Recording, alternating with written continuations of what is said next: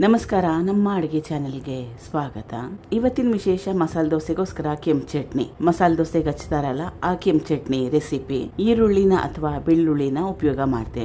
Try ಮಾಡಿ ನೋಡಿ ಸಕ್ಕ tasty ಆಗಿರುತ್ತೆ. ಮಾಡೋದು ಕೂಡ ತುಂಬ ಸುಲಭ. ತೆಂಗಿನಕಾಯಿ ಕೂಡ ಬೇಡ. ಒಂದು ಚಮಚದಷ್ಟು ಎಣ್ಣೆ. ಸಣ್ಣ ಚಮಚದಲ್ಲಿ ಒಂದು ಚಮಚದಷ್ಟು. ಒಂದು ಟೇಬಲ್ ಸ್ಪೂನ್ ಅಷ್ಟು ಕಡಲೆಬೇಳೆ. ದೊಡ್ಡ ಚಮಚದಲ್ಲಿ ಒಂದು ಚಮಚದಷ್ಟು. ಅರ್ಧ ಚಮಚದಷ್ಟು ಉದ್ದಿನ ಬೇಳೆ ಅರ್ಧ ಚಮಚದಷ್ಟು ಕೊತ್ತಂಬರಿ ಬೀಜ ಅಥವಾ ಧನಿಯಾ, ಕಾಲು ಚಮಚದಷ್ಟು ಜೀರಿಗೆ. ಈಗ ಈ ಪದಾರ್ಥಗಳನ್ನ ಎರಡರಿಂದ ಮೂರು ನಿಮಿಷ ಗ್ಯಾಸ್ ಸ್ಟವ್ನ ಸಣ್ಣೂರಿಲಿ ಇಟ್ಕೊಂಡು ಚೆನ್ನಾಗಿ ಬಿಸಿ ಮಾಡ್ಕೋಬೇಕು. ಈಗ ಈ ಪದಾರ್ಥಗಳನ್ನ ಚೆನ್ನಾಗಿ ಬಿಸಿ ಮಾಡ್ಕೊಂಡಿದ್ದೀನಿ. ಗ್ಯಾಸ್ ಸ್ಟವ್ ಲೋ ಫ್ಲೇಮ್ನಲ್ಲಿ ಇಟ್ಕೊಂಡು ಸುಮಾರು ಒಂದು ಎರಡರಿಂದ ಮೂರು ನಿಮಿಷ ಚೆನ್ನಾಗಿ ಬಿಸಿ ಮಾಡ್ಕೊಂಡಿದ್ದೆ.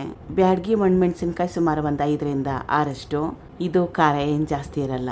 ಇದನ್ನ ಹಾಕೊಳ್ಳೋದ್ರಿಂದ ಚಟ್ನಿಗೆ ಒಂದು ಒಳ್ಳೆ ಬಣ್ಣ ಬರುತ್ತೆ. ಕರ್ಬೇವಿನಲ್ಲಿ ಸುಮಾರು ಒಂದು ಎಂಟರಿಂದ ಹತ್ತಷ್ಟು.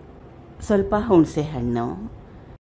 ಈಗ ಒಣಮೆಣಸಿನಕಾಯಿ ಕ್ರಿಸ್ಪಿ ಆಗಬೇಕು. ಗರ್ಗರಿ ಅಂತ ಆಗಬೇಕು. ಅಲ್ಲಿವರೆಗೂ ಚೆನ್ನಾಗಿ ಬಿಸಿ ಮಾಡ್ಕೋಬೇಕು. ಗ್ಯಾಸ್ ಸ್ಟವ್ನ ಲೋ ಫ್ಲೇಮ್ನಲ್ಲಿ ಇಟ್ಕೊಂಡ್ರೇನೆ ಒಳ್ಳೆಯದು ಈಗ ಎಲ್ಲ ಪದಾರ್ಥಗಳನ್ನ ಚೆನ್ನಾಗಿ ಬಿಸಿ ಮಾಡ್ಕೊಂಡಿದ್ದಾಗಿದೆ. ಸ್ವಲ್ಪ ಬೆಲ್ಲ, ರುಚಿ ಬ್ಯಾಲೆನ್ಸ್ ಆಗಲಿ ಅಂತ. ಇದನ್ನ ರುಬ್ಕೋಬೇಕು. ಈಗ ತುಂಬಾನೇ ಜಾಸ್ತಿ ಬಿಸಿ ಇದೆ. ತಣ್ಣಗಾಗ್ಲಿ. ಉರ್ಕೊಂಡಿರೋ ಪದಾರ್ಥಗಳೆಲ್ಲ ತಣ್ಣಗಾಗಿದೆ. ರುಬ್ಕೋತಾ ಇದ್ದೀನಿ. ರುಚಿಗೆ ತಕ್ಕಷ್ಟು ಉಪ್ಪು.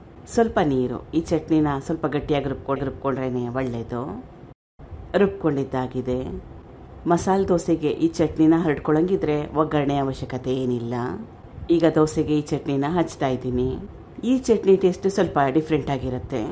ಮಸಾಲೆ ದೋಸೆಗೆ ಪುಡಿ ಹಾಕ್ಕೊಡ್ತಾರಲ್ಲ ಚಟ್ನಿ ಪುಡಿ ಹಾಕ್ಕೊಡ್ತಾರಲ್ಲ ಆ ಟೇಸ್ಟಲ್ಲಿ ಬರುತ್ತೆ. ಇದಕ್ಕೆ ಈರುಳ್ಳಿ, ಬೆಳ್ಳುಳ್ಳಿ ಹಾಕಿಲ್ಲ, ಅದಕ್ಕೋಸ್ಕರ ಇದ್ರ ಸೈಡ್ ಇದಕ್ಕೆ ಈರುಳ್ಳಿ ಆಗಲಿ, ಬೆಳ್ಳುಳ್ಳಿನಾಗಲಿ ಉಪಯೋಗ ಮಾಡಿಲ್ಲ. ಅದಕ್ಕೋಸ್ಕರವಾಗಿ ಇದರ ಟೇಸ್ಟು ಸ್ವಲ್ಪ ಡಿಫ್ರೆಂಟ್ ಆಗಿರುತ್ತೆ. ಟ್ರೈ ಮಾಡಿ ನೋಡಿ ತುಂಬಾ ಸುಲಭ. ಮಸಾಲೆ ದೋಸೆ ಇಲ್ಲ ಅಂದ್ರೂ ಮಸಾಲೆ ದೋಸೆಗೆ ಹಾಕ್ಕೊಳ್ಳಿಲ್ಲ ಅಂದ್ರೂ ಅಕ್ಕಿ ರೊಟ್ಟಿ, ರಾಗಿ ರೊಟ್ಟಿ, ಪೊಡ್ಡು, ಇಡ್ಲಿ, ರವೆ ಇಡ್ಲಿ ಜೊತೆ ಕೂಡ ಸಖ ಟೇಸ್ಟಿಯಾಗಿರುತ್ತೆ ತೆಂಗಿನಕಾಯಿನ ಕೂಡ ಉಪಯೋಗ ಮಾಡಿಲ್ಲ. ಥ್ಯಾಂಕ್ ಯು ಫಾರ್ ವಾಚಿಂಗ್ ಧನ್ಯವಾದಗಳು.